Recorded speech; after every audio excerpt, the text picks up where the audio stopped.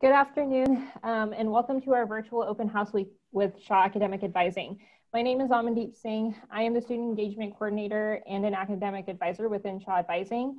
Um, we are super excited today to be able to have you all connect with some of our faculty and graduate students from the Sociology Department. Um, before we begin, I will be uh, today's moderator for the panel. Um, I would like to go over a few Zoom guidelines before we begin. Um, the first thing being, if you have any questions for any of our panelists, I ask that you use your um, Zoom feature below. Um, in the chat function, you should be able to um, message me your questions. Um, after you message me your question, I will ask that, that question aloud to our panelists today. if by any chance you do drop off because of Wi-Fi connection issues, please feel free to log back into Zoom and I will connect you back to the meeting.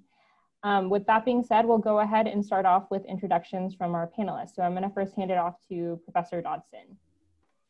Thanks, Amandeep. Um, welcome everybody for joining the panel. Um, my name is Kyle Dodson. I am a professor in sociology. Um, I don't know if you just want us to introduce ourselves, if you want us to like talk about our research interest or wait for we'll that. We'll get to that. So just brief introduction, yeah. Okay. Mm -hmm. And then Waleed, would you like to go next? Yeah, absolutely. Um, my name is Waleed. Um, I'm a third year doctoral student in sociology. And Jared. Hello. Oh, Giovanna, go ahead. Uh-huh.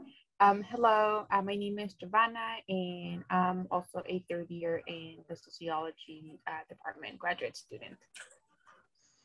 Hi, everyone. My name is Jared. I'm a first year um, doctoral student in the sociology department. Awesome. So our first question kind of is just for us to get to know you better. So if we can have you all talk a little bit about yourselves. Why did you choose or pursue sociology?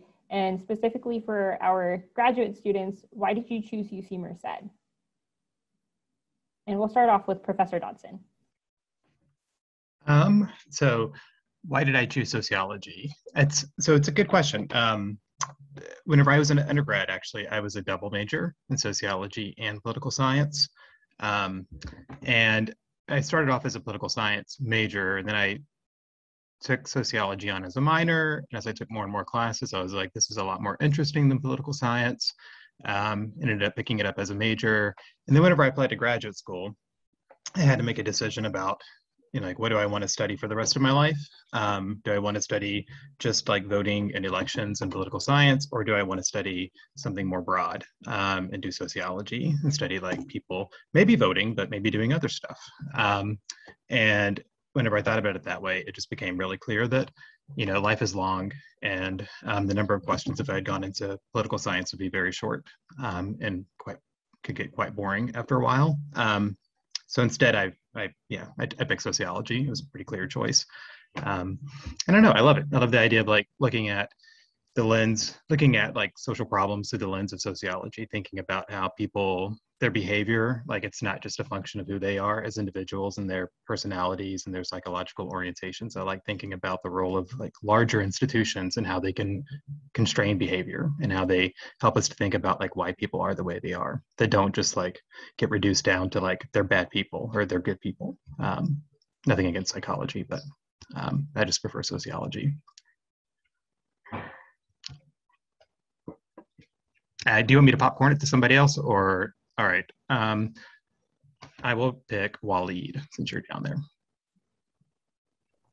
All right. So firstly, why did I pick sociology? So um, I grew up in a family of community activists. Um, and I would say a part of an eclectic community that um, was composed of a lot of different groups um, you know, suffering from different forms of oppression. So, um, social injustice was always just an interest of mine. And when I got into college, sociology was the natural application of studying social injustices and and and why we have social problems and why they occur, why they subsist, and how to, um, you know, engage in activism so we can produce social change. Um, as Professor Dodson um, was uh, talking about, and so uh, it was just a natural fit for me. I majored in sociology. I also double majored in psychology as well, but so sociology was always uh, my passion. and um, what was the second question? Why was it? Why did we choose UC Merced? Okay, yeah. So why I chose UC Merced? So um, that's a there's a huge gap between that. Um, graduate 2011, and I came to Merced two years ago. Um, honestly, it it was practicality first and foremost. I needed to stay close to the Bay Area. Um, I was um, um, expecting a child, and, and me and my spouse, we both um, had to stay close to our parents. And so I had to stay close to the Bay Area. But I'm going to flip that question. I'm going to say, why was I excited to go to UC Merced? Because that's, um, for me, just as important. And that was really um, because UC Merced is, from what I've seen, very different from the other UCs, and uh, especially the sociology program is a different than a lot of the other socio- sociology programs across, across the country. Uh, firstly, I think the faculty is a lot younger and they're a lot more passionate and more uh, centered on community and uh, uh, bringing about like voicing the opinions of those who are uh, disadvantaged.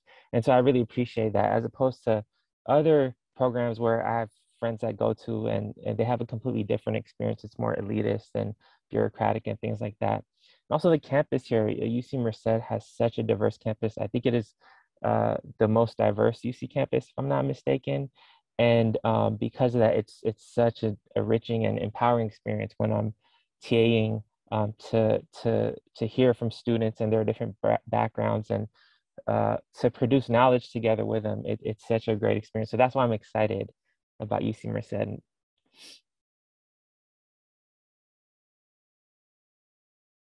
i'm supposed to popcorn right uh all right so just next on my list is uh jared all right. So why we pick sociology and why UC Merced, correct? All right, cool. So yeah, um, you know, you know, growing up, I, I, grew up in the projects in San Francisco, and I just seen a lot of uh, just just stuff that comes with it. I'm not going to make it seem odd and unique because it was very normal to me. But um, as I got older, it's like, why why is this going on, right? Why why why are my schools just very punitive? Why do they expel us right away? um, the police violence and the neighborhood violence, right? Just the people on people violence and police violence that went along with that. So, surviving those conditions and making it to college, um, I actually picked up sociology at first. I mean, psychology at first.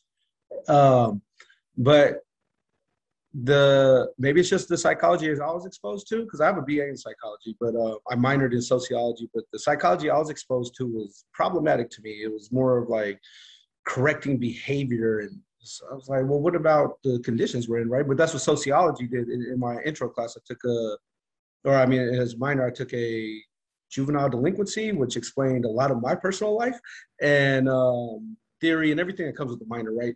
Um, so that's why I chose sociology. And I, uh, when I when I got into college, I've always wanted to be a researcher, no matter what it is. I could have been a biologist, right? So I just wanted to do research, right? So I just came this way. Um, as far as picking UC Merced, uh, multitude of reasons. I, I can name three off the top. So I had a friend that I knew a long time ago, Marcus Shaw. He graduated from this program. I knew him in a different life, in a different life, right? And it was just interesting. Like, whoa, you got a PhD, bro? So yeah, he told me about the program. So I was interested. I was in my master's in sociology at Sac State. Um, I go about things a little different. So I just came to the campus, knocked on Irene Beattie's door. I was like, hey, tell me about the program, right? I should have emailed, but it all worked out and it just seemed like a real down to earth program. Like, you know, coming from where I came from, a lot of stuff seems elitist, like what Waleed was saying, a different language that I wasn't used to. And this department may not have the same background as me, but they're very accepting and it's understanding and I could be myself, right? Um, when I was looking at different departments like UC Davis and Santa Cruz, I was just like, what is going on, right? So that's why I'm here.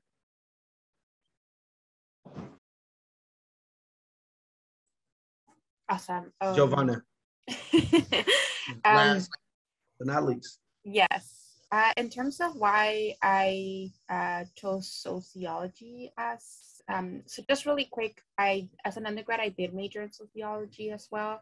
Um, and when I first entered UC Merced, um, and actually on on the side note, I am also UC Merced alumni as a grad uh, undergrad student. Um, but when I first came into UC Merced, I um, I was considered um, I was considered um, what's that word? I didn't have a major. Uh, undeclared. There you there you go. I I wasn't undeclared for like my first two years. I wasn't sure what I wanted to do. Um, I wasn't sure what I wanted to major in.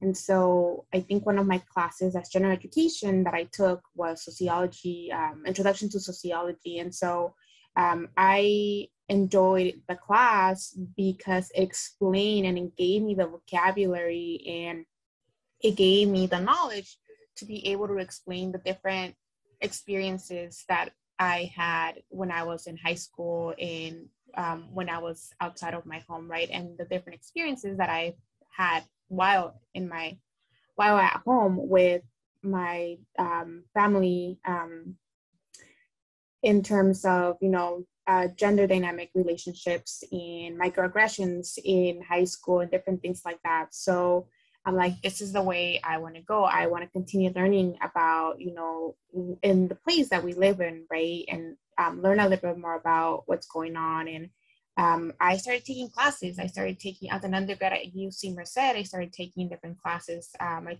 think I took an, incarceration class. I loved it. I'm like, wow, like it just gave me a different perspective, different lens um, through which I was able to see the world that we live in. Kind of like uh, Dr. Dodson mentioned, right? Like that person is not, you know, in jail because they're a bad person, as many people believe. There are many systems in place um, that took that person to that point in life.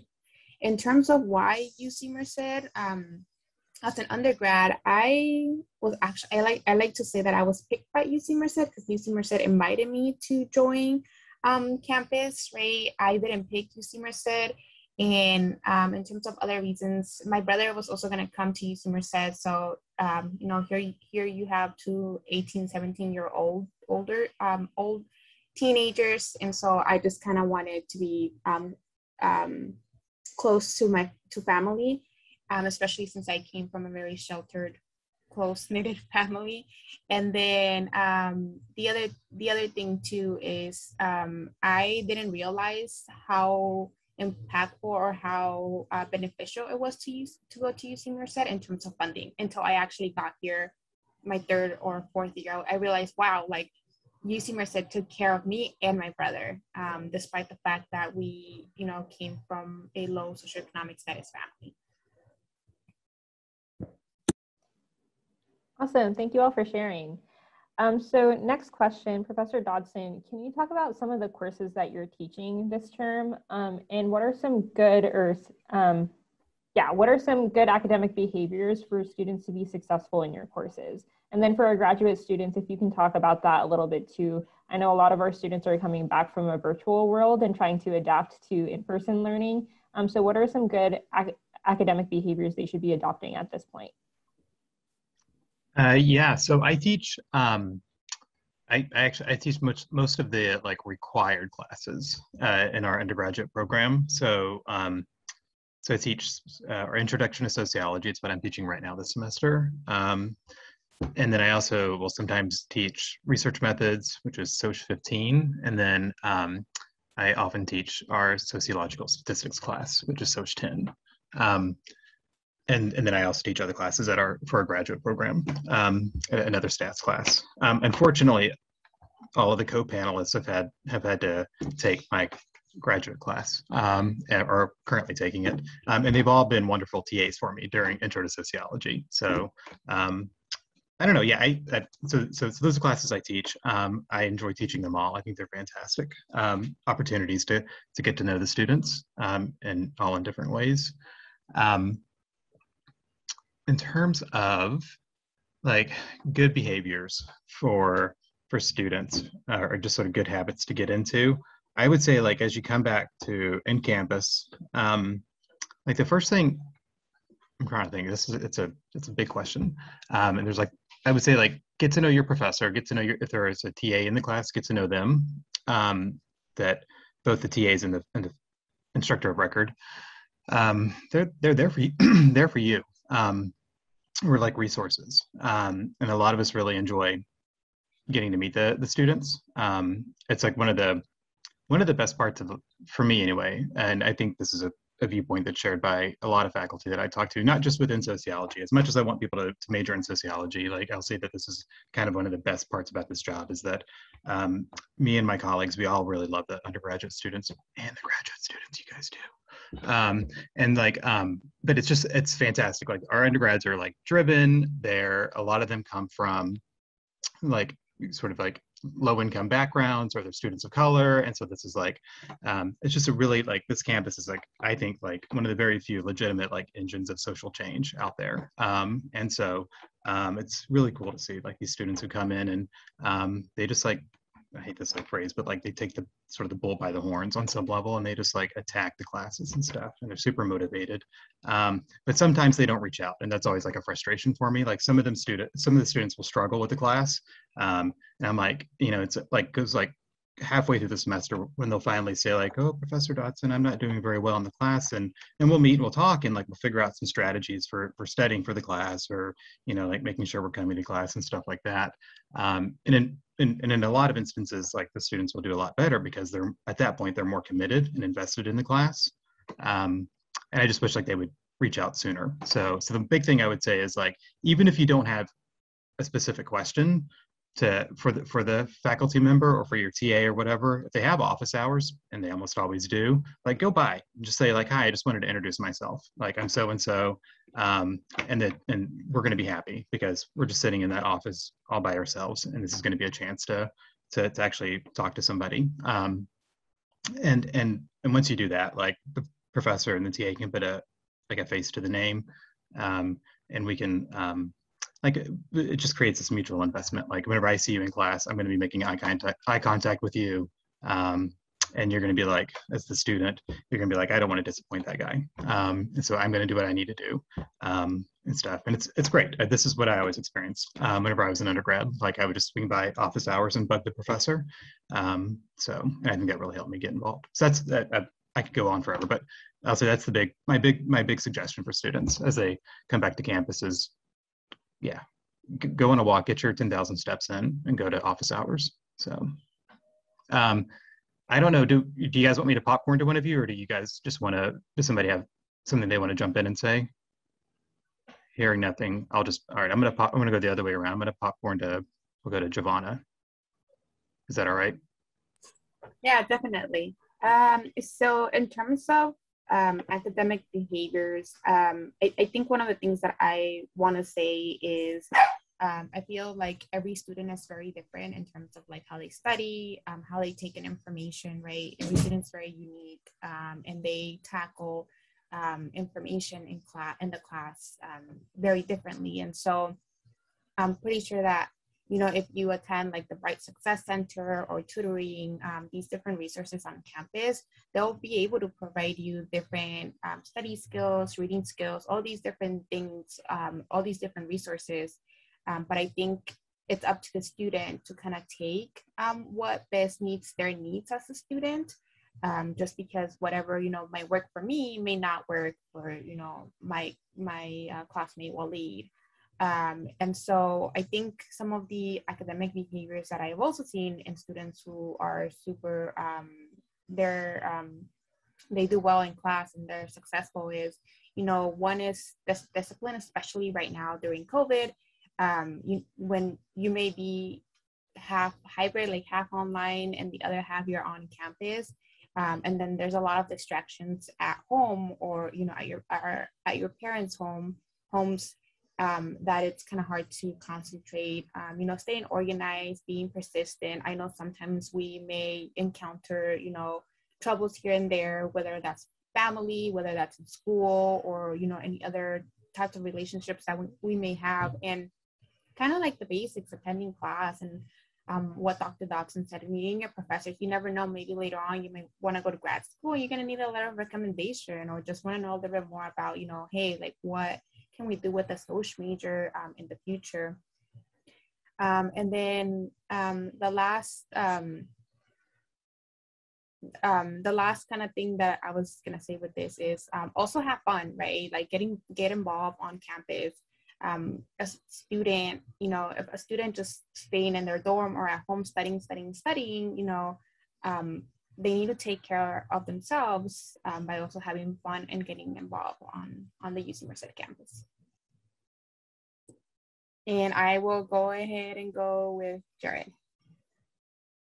All right, great. So good academic behavior to be I don't like that word behavior. But all right, so I would say as undergrad, I could go back to undergrad. I was in the CSU system, so it might be a little different. But um, you know, my grandma said, "Closed mouth don't get fed," right? So just always being able to talk, talk appropriately, of course, and what's necessary, but um, asking the right questions. And what um, to allude to Kyle Dodson is something I used to always do. Um, I'd frequent office hours, and you'll find the professors that you're closer with and whatnot. But uh, yeah, like uh, opportunities come, and when people get to know you, you could end up being the first person they email to give an opportunity, right? Whether it's a research opportunity, um, a chance to meet, um, you know, or even leniency on, on, grading if they understand like some issues may have. Like me, I, I wasn't really much of a, a heavy writer coming in, right? And I had professors that took an interest in me and get, um, put took me into programs in college to enhance my writing. I'm a pretty good writer now, so um, stuff like that. Um, as far as like personal behavior, I'd say um, staying, having a good rhythm. So not really a balance, but a rhythm, right? Um, and it's something I'm relearning again in this PhD program. But uh, be it you know time management, um, you know not cramming. I see I see a lot of people do this in undergrad and. Uh, my wife, for instance, we went to some undergrad and uh, undergrad together, and you know, she'd have a group of friends and they'd all be like studying for the test like a day before, and I was studying, you know, a week before. So, you know, just be, being ahead of the curve. Seriously, that's how you keep your grades up. That's how the brain works. Uh, you know, so um, being punctual on time. Um, nobody likes a person that's late, and um, yeah, that's that's pretty much it. There's a lot more, but I think that's pretty much foundational. And getting involved in campus, that that's a real big thing. That's one of the cool things I did, and you get a lot of change done. None of these campuses are perfect, and and you know need to be challenged outside um, outside of being challenged, um, just having fun too. But when you're a part of an organization, you could make the the college better and whatnot. So that's that, brother Waleed. I got you. um, uh, yeah, I want to echo what everybody said, especially in regards to uh, coming to office hours. Um, that's really important. Um, and also what Giovanna said about student, every student is different. People learn differently. Um, I'll just highlight highlight one thing that I've noticed as a TA for the past couple years, and now um, I think folks can improve. Students can improve a little bit on their note taking, and there's a lot of different methods to go through. I'll just say the one thing that worked for me, and feel free to try it if it works. If it doesn't, just throw it out there. But someone taught me this, and um, it worked. Uh, basically when you're in class um, and the professor is speaking, don't let your pen leave the pad or don't stop typing, whatever tool you're using. And the reason for this is more so not to capture as much information, but it's actually actually a little bit helps with memory. Psychological. You're typing everything down, and when re- re- you review it uh, later that day or the next day, um, there's a kind of replaying going on in your head where you're seeing the examples and the flow of the, the, the lecture and things are sinking in a little bit more because you basically have a transcription of the lecture of the class. It's really time intensive. Like I said, try it. If it doesn't work for you, um, you don't have to. But I have noticed that students who have problems on test day um, or on assignments really aren't doing well note taking. And when I ask to see their notes, I see they're not really doing a good job. They just might be copying the slides, and you need to do a lot more than that, especially in your last two years. Awesome, thank you for sharing. Um, so next question, more pertaining to the research side now. Um, can you all talk a little bit about your, what are your research interests and how can students do research in this particular major or get involved with it on campus? That's an awesome question. Um, so I study politics. Um, if you I, if you remember, I was like, oh, a political science major and a sociology major, and so I just decided I wanted to do politics from a more of a sociological perspective. Um, somewhat ironically, I still kind of am studying the questions that I didn't want to be studying for the rest of my life. Um, so, um, but I, so I, I, tend to do, um, I like to look at individual behavior and think about like, why is it that some people protest? Why do they not protest? Like, how do people who protest differ from people who don't protest? Um, how do people who vote differ from people who don't vote? How do people who vote for a certain political party, they vote Republican. How do they differ from people who vote Democratic? Um, they also like to think about like different differences between countries in these behaviors. So like how do people who vote in the United States differ from people who vote in Europe, for example? I mean, uh, not vote, um, people who protest in the United States, how do they differ from people who protest in the United States uh, or Europe? Um, I use it, I, I, usually analyze these questions using survey data. Um, fortunately, there's a lot of organizations out there who um, just put out these huge surveys. Um, they're over time, they've been doing it for a long time. It's across a lot of countries. Um, and so it's really cool to go in and download the data that they've collected and examine it. Um, it's just a, a, treasure trove of, of, of information. Um, in terms of like research opportunities for undergraduates, there's I you know there's kind of like I guess like three different approaches to this. Like one is what I would offer, and that's you know I'm always happy to if an undergraduate wants to come and like do stuff with me um, and do research with me. I I'm always happy to do that. Um, unfortunately, like it's typically unpaid, so it'd just be like, hey, let's do a research project together, and the benefit to you is you get experience, um, which is useful, especially if you think you want to do um, uh, like graduate school after you after you get your college degree. Um, having that kind of research experience is, is a real plus on a on an application. Um, and I'm always happy to do that. Sometimes it's maybe I'm working on a project and I've got some stuff for the undergraduate to do. I think it tends to work better if the undergraduate has an idea that they're interested in um, and I can help them on that project to like go find the data and, and think about how to analyze it. Um, so like what an unpaid research sort of experience is, is one option. At the other end, some faculty do have some money from grants that they can pay undergraduates um, that they can use to pay undergraduates to help them do research. Um, and we do have some faculty in our department who, who have been doing this recently. Um, Professor Tanya Golash Boza is, is one that I think think she has like 10 undergraduate research assistants or something. I think uh, like she just walked into a class and kidnapped a mark or something. I don't know how she has that many students, but but she's got a bunch. So um, and I think she's working on a project that deals with like gentrification in, in Washington D.C. So if that appeals to you and excites you, um, you should reach out to her and see if she's got any any research um, opportunities. And I think Waleed's done some work with that as well. Um, so, so, so, so, yeah, so one option is the unpaid research experience. The other is a paid research experience. Um, and the middle ground is we do have some programs on campus where you can apply. It's competitive, but if you have like a, a research project you're interested in pursuing, um, like there's like, I think UROC is one option where you can apply. Um, and if you're accepted, um, you'll be given money to, to basically do some research over a summer um, in partnership with a faculty member who can mentor and advise you on that project. And that's really exciting because then you're kind of, you're doing your own thing um, and the faculty member there is, is sort of a resource for you and you're getting some money and you get all that experience. It's going to be great for, for applying to graduate school. So, um, but in general, I would say like, don't ever hesitate to ask a, a professor if there's anything that they need help with. Um, even if they say no, they may have ideas for, for, for other people. Um, it can be intimidating, but we're people. Like just just ask us, and we're generally pretty nice. So um, I don't know. So we'll go with Jared. You're gonna get popcorn this time. So um, reframe the question again.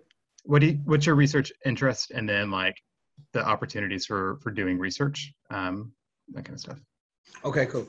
So my research interest, particularly um, sociology of education. Um, social um, educational inequalities. Um, coming from a master's program, I actually did most of my thesis and whatnot, and I think I'm about to rebuild on it here. But um, I, I look more towards the continuation schools, the behavior focused alternative schools. That's why I'm really like more focused on, just because you see a lot of um, educational inequality literature, and they focus on you know a multitude of things. I just don't see much on continuation schools when I was diving into that. And and some of the research questions on continuation schools wasn't, you know, because well, I'll say where my interest come from. I'm actually a continuation high school graduate, right? And you don't come across too many of us in college, right? Because continuation high school is not a pathway to college. Um, you only go to a junior college from there, and then you know what you're taught at continuation high school, it makes it hard. So that's my research interests. I can go on about that, but um, as far as getting research as an undergraduate, um, I came from the CSU, so I have a little experience with that, but not as much as some people that may have came from the UCs or the bigger um, research institutions. But I, th- I think a, a, main thing, if um, so, at, at, the UC, right? This is uh, I think they call it R two school, maybe it's R one, who knows? But everybody's doing research, right? So all, all the professors, for the most part, are doing research unless they're a lecturer. So you know, just asking, asking questions and asking to get on board. Um, I actually met with UROC students, so that is a um, I guess that's another route you could go to. You'd apply to it. Um, and I think if you're applying to graduate school, it's very important to get some research under your belt. Um, and that's why I did the master's first because I came from the CSU and there wasn't much offered there, in particular in my CSU. But going to the master's, I had um, I was able to do my own research with my thesis, which shows that I was able to do a thesis, right? And I was also able to do applied research, which is a different conversation. I think that's a later question as well. So that's pretty much what I have on that. Um, Giovanna.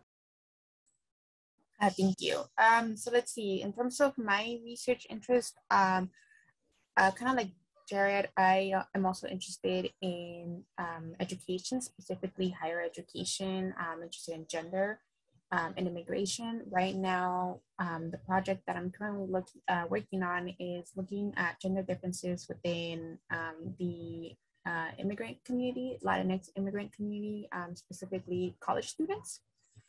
And uh, let's see, in terms of research opportunities, I think this goes back to what we all mentioned earlier, right? Like going to office hours um, to your professors uh, within the classes that you're taking in the sociology department um, and I can actually um, talk a little bit more about that just because, like, it, you know, in terms that, you know, it, it works. Like, that's the way to get some research opportunities if you, if that's what you're looking for.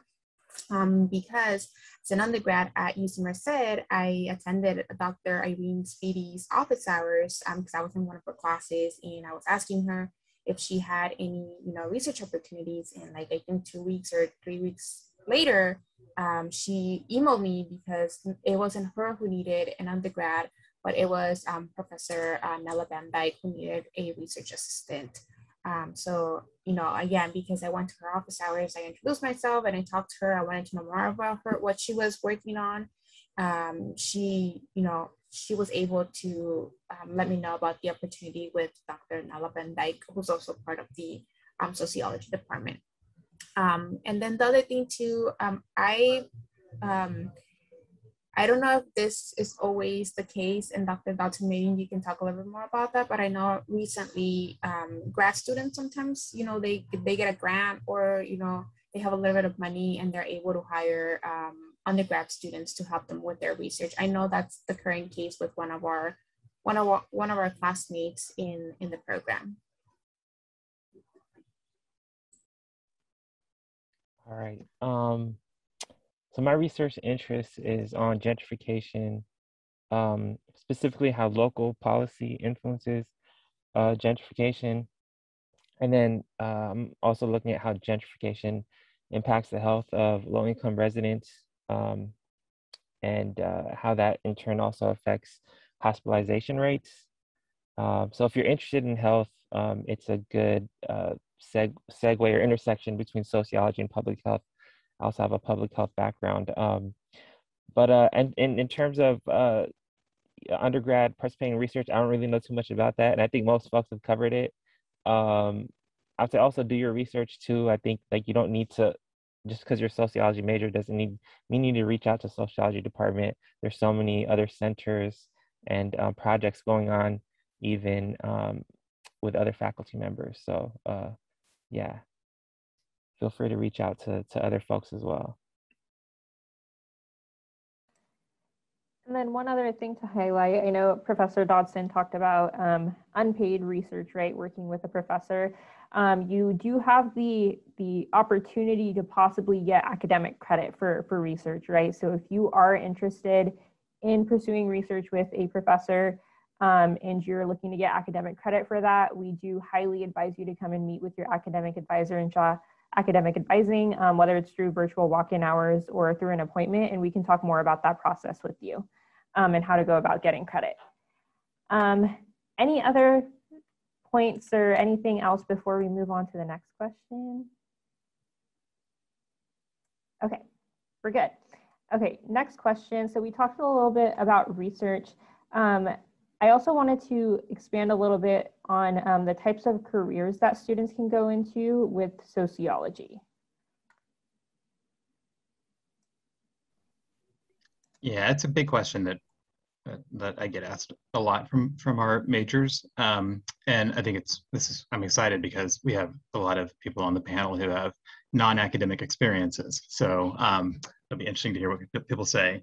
So I think like what I typically I'm sorry, just as a sort of a side note, um, I've got children coming home from school. Um, so I apologize for any distractions that may happen. Um, and I'm outside and our dogs are out here because my wife is also on a Zoom call um, and our dogs like to bark. So um, apologies. Um, anyway, so yeah, what I what I typically tell folks about like, you know, what do I do with a sociology major? How do I like get a job? Is um, you know, it's both like a it's a like a blessing and a curse having a sociology major like when we compare it to like other kinds of majors out there that like right if you like have a i don't know like if you major in like computer science or accounting like the kinds of jobs you get with those majors is i think pretty straightforward. Like like you if you're a computer science major you're probably going to go into like a tech field right? If you're an accounting major you're probably going to end up getting an accounting job um, which is nice. Like that kind of reduces like the the worries and the concerns about like what do I do after I graduate? I'm going to go do this. It's like a straight linear um, process. With a sociology major, it's like you can still do whatever the heck you want to. Um, like like you're when you major in sociology, you don't major in a career necessarily, right? You're not choosing a career when you choose to major in sociology. You're just choosing, in my mind, like what we do is like you're just choosing to have a certain skill set that you can take with you into whatever career you want to go into. Um, and I think it's really useful, like um, for the students who, th- who are thinking about majoring in sociology, is to go to somewhere on the UC's website. We have our what we call our program learning outcomes listed, um, our PLOs, and that kind of gives students an idea of what we hope our majors leave knowing like what are the skill sets we want them to have and it's things like thinking critically about inequality being able to like um, examine data like take an empirical approach um, being able to like discuss and to write about social inequality, um, being aware of inequality. And I think these are really important skills that you can and should take with you into whatever job you want to. Like we have majors who go into into education, who go into politics, who go into management, into they go into IT, they go into technology, they go work for Facebook, they go get jobs anywhere they want. But they go and they have this really great skill set um, that they've learned from sociology that helps them to think about you know the importance of broader social context. Like how do policies matter? How do institutions matter? How does like this broader environment matter for what we're seeing in this in this place? Um, so so the question of like what can you do with a sociology major? Um, anything. You're still limit you're limited by your by your imagination on this one which is scary i get but but you know i'm not going to tell you how to what, what job you got to go get I, I want you to go get a job that like um, that sort of speaks to you and like makes you happy. And increasingly, we're actually seeing that like when people choose career, like when they choose a job and they choose an industry, like they don't stay in that industry forever. They're sort of hop industries, right? So like you start off in this field, then you go over here, then you go over there, then you go over there. Um, and so having that skill set, I think, is really useful as you um, as you navigate that process. Okay, and I can't really speak because I just went from undergrad, then I went to graduate school, and then I went and got a job in academia. So I haven't been off a college campus in a in a very very long time. Um, so I'm actually curious to hear what um, the experiences of our co-panelists are. Um, I'm to go back around now. I'm starting with Waleed again. All right. Uh, thank you, Professor. Yeah.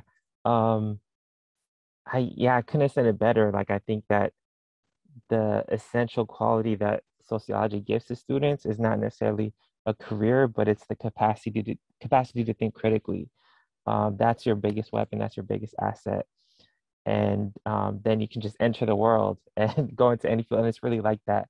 Um, I worked for about eight years, and I was also in a few of my positions, like to a limited degree, in uh, involved in hiring processes. So I would say this question really, I mean, this pertains more to the experience through internships and work that you do and um, during these last two years um, than it necessarily does to your major. Um, you can literally be a sociology major and go into a broad range of fields. Like if you're still interested in medicine, you could be a social major, take all your med school requirements and go into medicine. If you're interested in public health, you can go into public health, social work, et cetera, et cetera. When I was a student, um, it was kind of limited to even those like soft sciences degrees. But even now, so like uh, even with the curriculum of Merced's sociology program, like you have a little bit of background in data science. That's enough to build and go into um, like some sort of coding, a coding certificate program or um, a data science program if you're interested in going that direction. So um, I, I would I, I, agree with Professor Dodson. I think um, there's a wide range of opportunities um, that are there for you. I think it's more so based on the type of internships and experience you get at this point, and it's critical. And if we cover that in the in the um, later on in the panel, I'll be happy to go into more detail about that. Oh, let's popcorn, uh, Giovanna. Awesome, thank you, Walid. Um, let's see, for me, um, when I graduated with my uh, bachelor's in sociology, I went straight to um, to um, to grad school, um, to graduate school for a master's degree. Um, I actually went into counseling, which um, kind of supports the idea that both Dr. Dodson and Walid are talking about, right? Like you can you can branch out to other different types of um, careers in um, you know grad school or medical school. Um, so I went to Cal State Long Beach um, for a master's degree in counseling and higher education, and I was able to use a skill set that you know um, the other panelists were talking about in terms of you know this lens, this sociology sociological lens that I have to be able to look at, you know, um, to help students with with their academics, right, with their career pathway, with their educational pathway.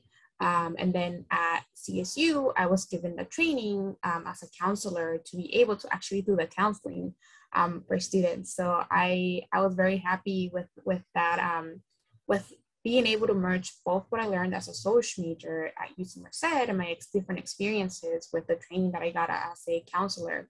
Um, with that information, what I ended up doing, I ended up being a counselor, an academic counselor um, at the community college, right? And I don't know, um, um in terms of community colleges compared to four-year institutions, they're very different environments um, the student population very different um, access to all meaning we have all types of students all types of majors coming in studying wanting to, wanting to study different things um, so i was definitely able to um, pick out of the different skill set that i was that i gained both at uc merced and at cal state long beach to be able to perform my job to do my job and be able to help students um, i decided i I'm back in school for a PhD in sociology because I really enjoy the teaching aspect of counseling. Although I I like the counseling um, uh, aspect of it, um, I really like the teaching.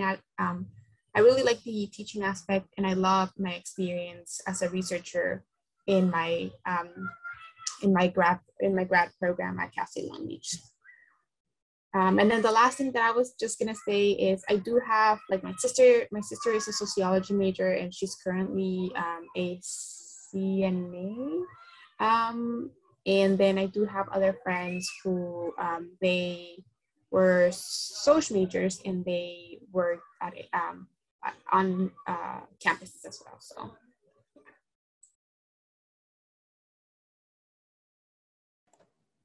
Awesome. And I think Jared might have had connection issues. Um, oh, he's back. Jared, are you there?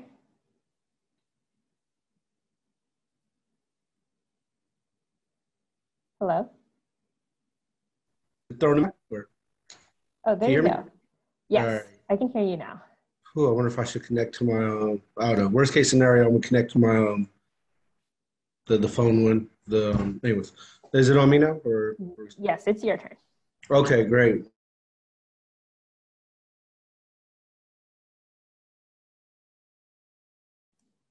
You know, it's kind of threw me out of sync, but um, yeah, as far as um, this is careers, right? Careers, right? Hold on. This is horrible.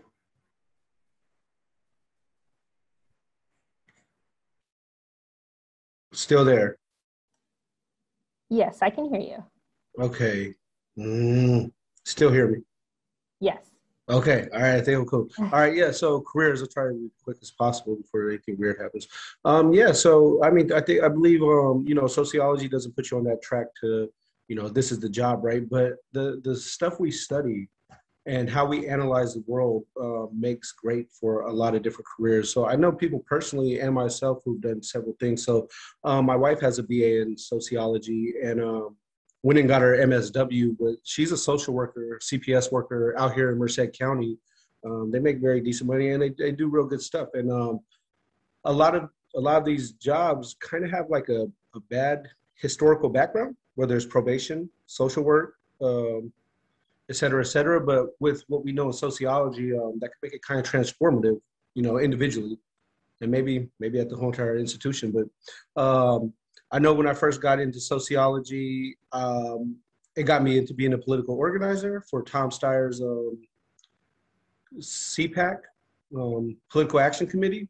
Um, and I did applied research. So before I knew I was coming to the PhD program, I did applied research, and I was aiming to work for the state of California, either in the Department of Education or Department of Social Service as a researcher. So there's a lot of researcher jobs out there. Um, and then I, um, I see a lot of, uh, I have a friend who has a sociology degree. They work in HR right now and just, you know, having that sociological perspective, just, you know, what we hear about HR is pretty crazy, right? So having those type of people in there. And um, I think what's one thing interesting about UC Merced, and I haven't seen it too many other schools, is that UC Merced has a teaching credential program that goes hand in hand during your four years here. So instead of graduating and then going on to a teaching credential through a K through 12 program, you could get it while you're doing your four years. So I suppose that'd be another route um, of interest as a sociology major, get your credential the same way and go teach in the K through 12 system.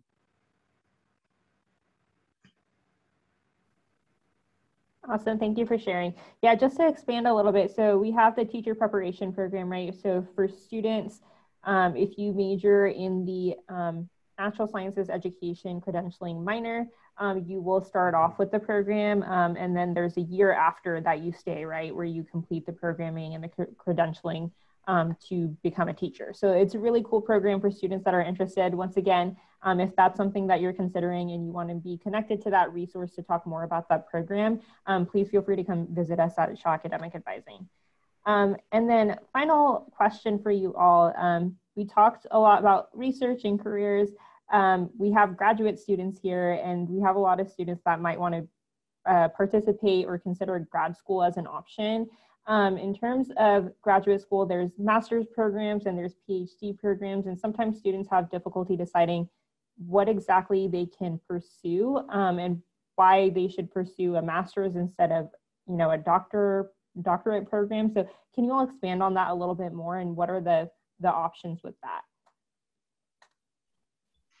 Yeah, it's a really good question. Um, so the first bit of advice I would say I would offer to students is um, like make like right go talk to the, faculty the faculty members who you trust um, to get advice from them um, because they've been through the process talk to graduate students they've been through the process um, and they can kind of because it's such a like byzantine like overwhelming process. Like I like you like I knew nothing about graduate school whenever I was applying to it. It was like I I like if I knew then what I know know, know now kind of thing. Um, so like go go talk to people who have experience with it, um, and they can help you out. Um, and, and I know that in like for example in sociology, we typically like once a year. Um, this was pre-COVID. Would have a uh, like a workshop on applying to graduate school. Um, and so it's usually organized by our sociology club um, and faculty and graduate students go to that. We talk about,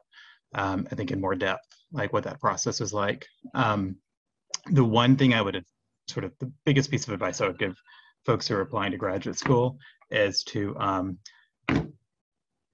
do your try as much as you possibly can to avoid having to pay for an advanced degree because um, they are insanely expensive. Um, and one way to do that is like it's, it's to effectively apply to a PhD program. Um, a lot of PhD programs, not all, but a lot of PhD programs will fund you. Um, when you're in that PhD program, they'll they'll waive your tuition if you're a TA or an RA, meaning a teaching assistant or a research assistant um, and then they'll give you money on top of that. Um, so it's not a lot. Um, unfortunately, it could always, always, always be more. Um, but um, but it's but it's but it's something. Um, and then usually what happens in these PhD programs is along the way you will write a master's thesis and you'll be awarded a, a master's degree. and at that point, if you don't want to continue on in your in your educational goals, um, you can leave the program and you can leave with a master's program, and you didn't have to pay for it.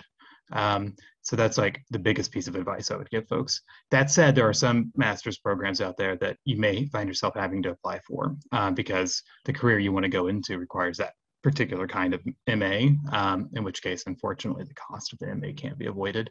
But if it is avoidable, do everything you can to avoid it because, uh, you know, working off $50,000, a $100,000 worth of debt is, is, is substantial and it's a lot of money um, and it will be with you for a very, very long time. So um, that's that's the short of it. Um, but also like reach out to faculty. You can always reach out to me, and I'm happy to talk more about it. Um, let's see here. I'm going to go with Jared first this time. Okay, so this was um, restate the question. Applying to graduate school, like for students who have who, who have ambitions of going and getting an advanced degree.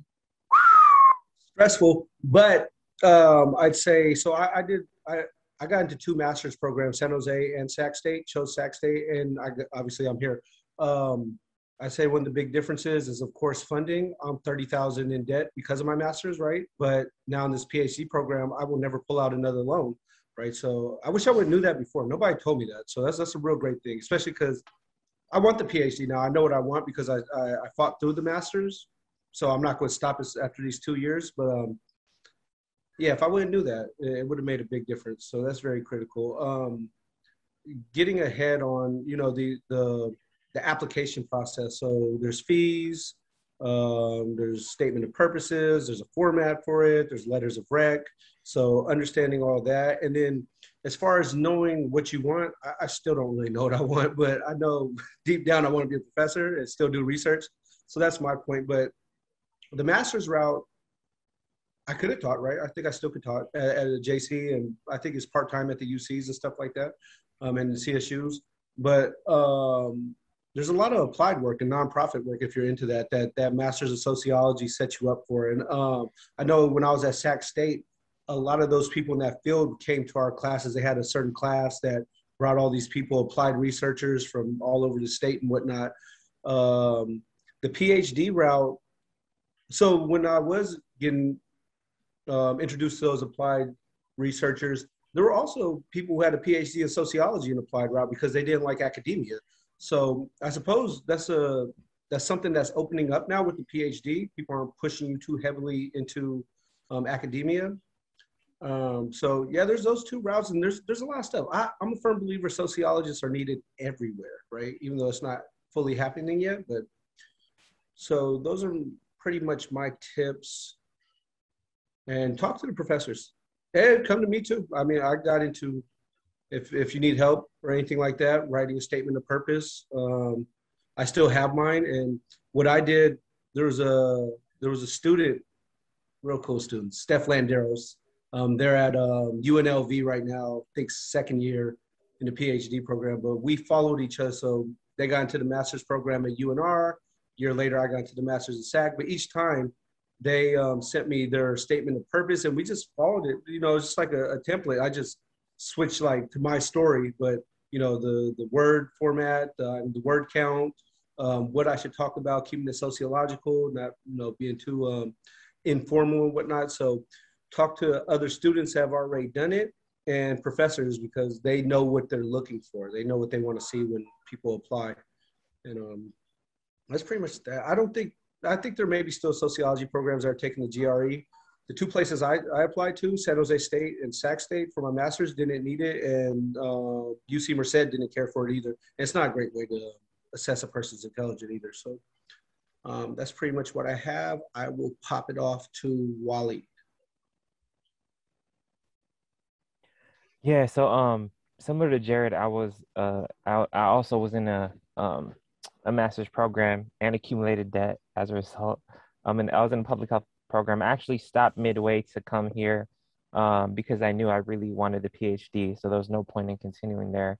Um but I'll say this just you know kind of theme in this panel has been like you know every person's journey is a little different and so um I would say like don't feel the need to rush into a graduate program, especially right after college. A lot of people do it and they turn out great and they have successful careers. But I think it's that journey is not for everybody. And I know for myself, I really had to take time to explore um, the work field to find out what I was really passionate about, um, what I wanted to do, uh, learn from my mistakes, uh, center myself. Like you're still growing um, mentally, um, and you know, that post college experience, a lot of times the opportunity to just take a break and, you know, you can work, you can travel, um, and experience a little bit of life before saying, okay, now I know what I want to commit to. I want to commit to a master's program or PhD program. Um, I know want to I, I want to uh, accumulate that debt for a specific purpose.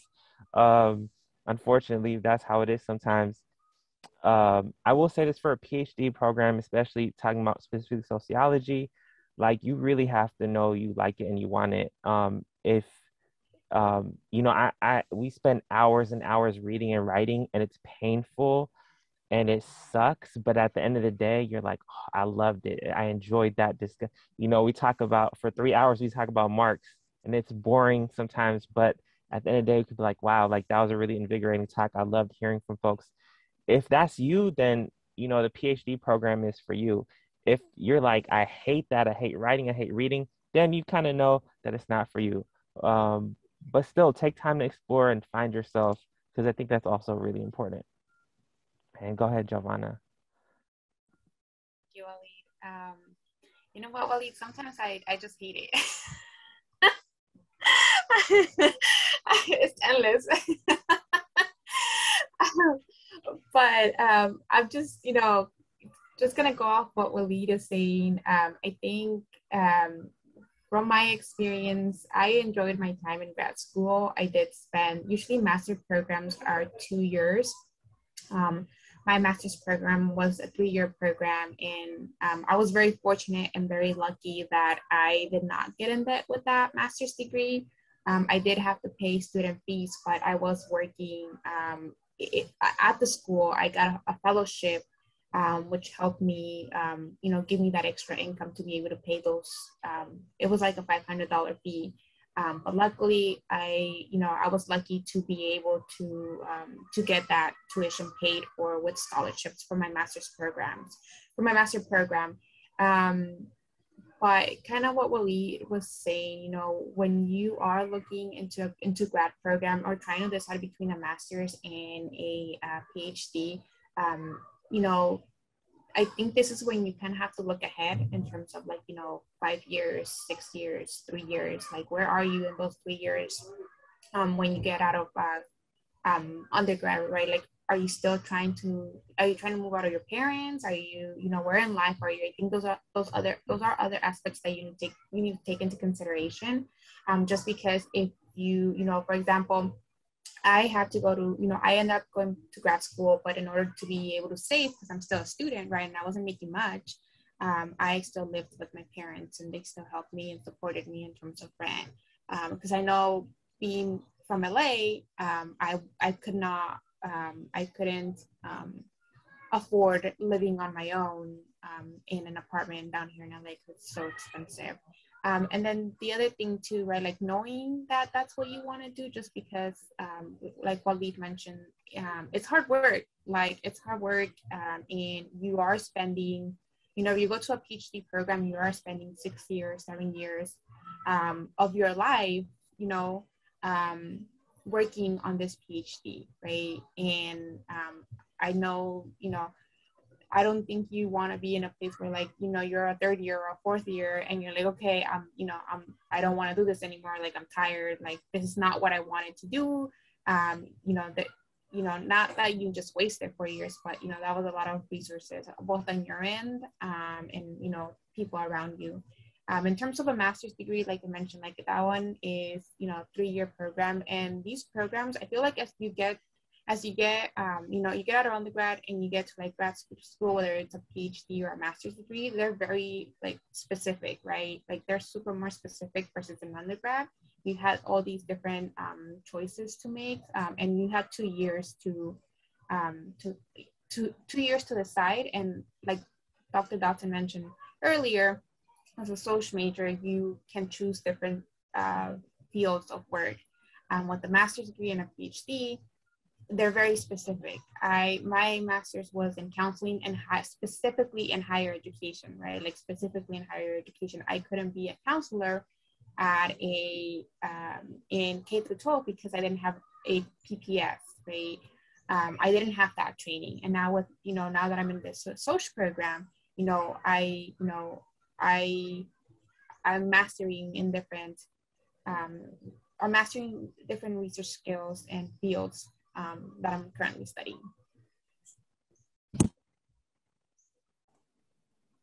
Awesome. Um, I just want to thank all of our panelists. This was really great information for our students. I think that um, one thing to be aware of, right, their resources, right, your instructors, your these graduate students, they're here to support you as well in your journey uh, while you're here as an undergrad here at UC Merced. So um, take advantage of the resources that you have. We, your Academic Advising Center, are also a resource for you. Um, if you need help with getting access to a certain resource, we, would be more than happy to direct you. Um, I want to thank our panelists time for joining us today, um, and thank you all for participating and joining in on the panel. Um, have a great rest of your day. Thank you, Amandeep, for organizing this. I mm -hmm. appreciate it. Bye-bye.